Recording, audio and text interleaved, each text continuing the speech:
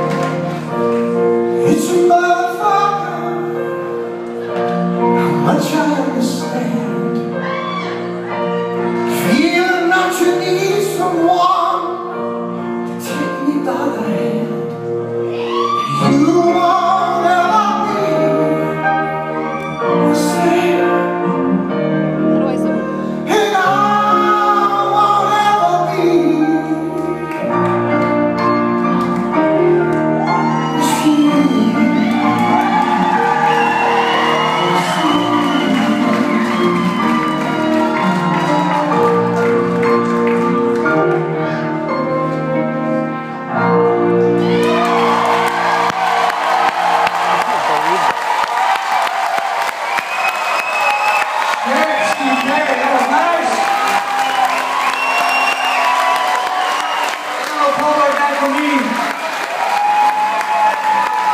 I that shit. Fuck.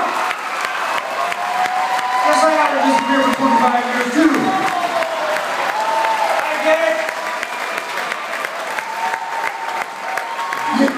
You know, I love that song. I've told you over and over again that I love that song. When I first met her, I couldn't believe someday I wanted to sing that song. And tonight was the first time I've ever sang it, so. You know, I don't know why the Eels don't do my music. What is that about? We were just waiting for you.